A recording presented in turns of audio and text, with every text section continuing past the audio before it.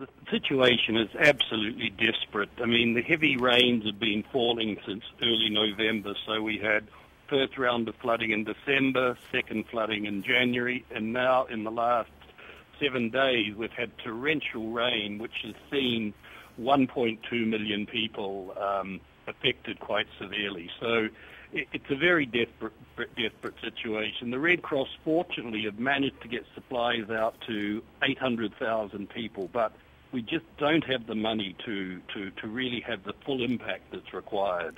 So, Bob, when you're saying your organisation doesn't have the money, uh, what efforts are being made to call on the international community perhaps to help uh, so that those remaining people that need uh, supplies, need uh, fresh, uh, fresh water and food, can get these?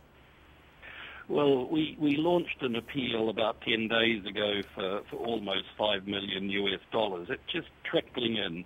I think with 25 years of civil war, tsunami, and now flooding, I think somehow the international community has become a bit desensitized by the situation in Sri Lanka. So it's great that we can be on the media and just to show how desperate it is. I've been out twice in the last 10 days and been with women who have lost their houses, they've lost their pots and pans, they've lost their bedding, their kids have lost their school books and school bags.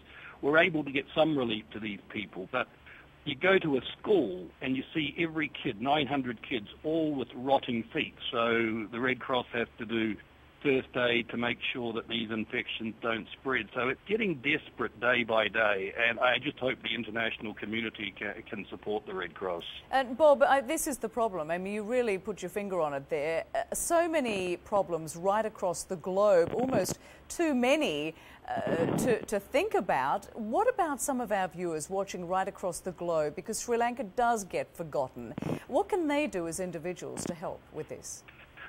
Well, you know, they can go to our, our, our, our, website, International Federation of Red Cross. They can go to the Sri Lanka Red Cross. They can give to their own National Red Cross or Red Crescent Society.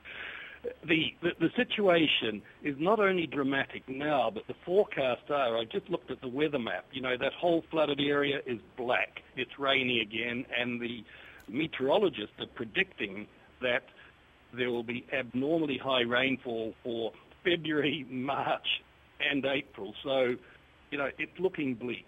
And um, I just hope that the, the, the good people out there will rally behind and give to the cause.